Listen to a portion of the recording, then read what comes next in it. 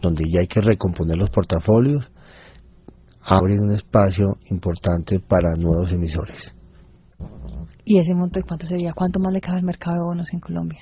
El mercado corporativo. No es una buena pregunta, pero yo creo que podemos estar hablando, el año pasado se colocaron 14 billones de pesos, que ha sido uno de los años récord de colocación. casi una demanda del doble. eh, yo esperaría que la suma no sea inferior a esa. ¿Que este año? Este año, correcto. Muy bien. Eh, pues, eh, doctor Diego Jiménez, presidente de Correo, creo que hemos hablado ya de lo divino y lo humano. ¿Algún tema que nos quede pendiente que valga la pena resaltar?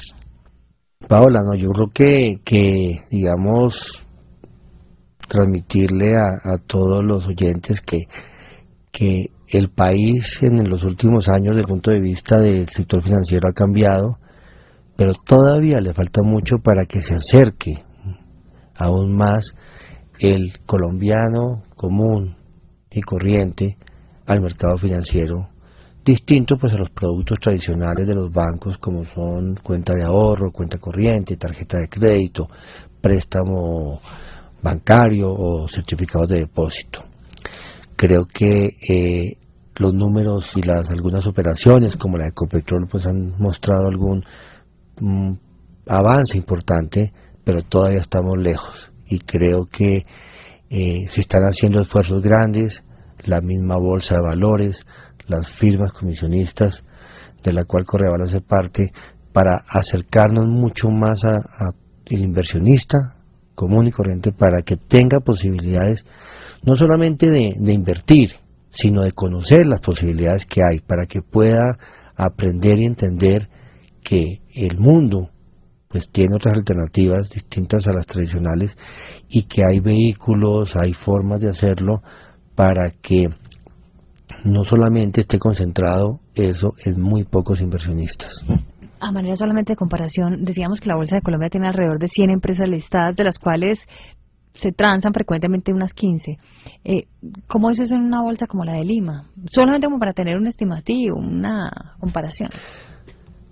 Lima tiene, Lima y Santiago tienen un número mm, casi el doble en empresas listadas. 200 empresas listadas en la de Lima. Sí, correcto. Sin embargo, los niveles de concentración son muy altos.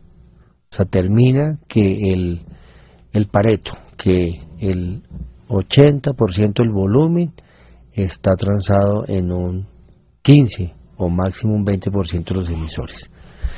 Eh, entonces, y eso pasa en, casi todas las bolsas, no es un tema tampoco, digamos, de la región o de Colombia. En general, en pocas acciones se transa el gran volumen. Eh, pero estamos quedados, entonces, y estamos quedados con nuestros vecinos, ¿cómo será? Sí, de acuerdo, creo que, que hay un reto importante y, y somos muy optimistas que, que realmente eh, el, el empresario colombiano, de hecho, simplemente como una cuña, Paola, si me la permite, como nosotros dentro de este proceso que le comento, eh, estamos muy interesados y de hecho vamos a hacer un foro la otra semana con ANIF para mostrarle a los empresarios las oportunidades que tienen a través del mercado de capitales. Y ese es el, trabajo que hay que hacer. Y así como lo estamos haciendo nosotros, lo están haciendo otros agentes, lo está haciendo la misma bolsa. Les da susto, hay un cambio, se requiere un cambio cultural muy grande. Yo creo que ese es el más grande, que es pensar que se está perdiendo el control de la empresa. Hay Colombia tiene una característica que es que el, en la industria hay mucha empresa de familia. Bueno. Y, y, y el tema familiar, el proceso de cambiar una empresa familiar a una empresa ya con reglas de gobierno corporativo no es fácil, no es fácil poco a poco se van dando los pasos. Veamos el caso de Carvajal, 120 años, 130 años. Y bueno, apenas se va a lanzar a poner bonos, ¿no? A colocar bonos. De acuerdo, Paula. bueno, doctor Diego Jiménez, presidente de Correval, una de las firmas comisionistas más grandes del país, pues muchas gracias por haber estado aquí en Hora de Negocios de Caracol Radio. Paula, muchas gracias.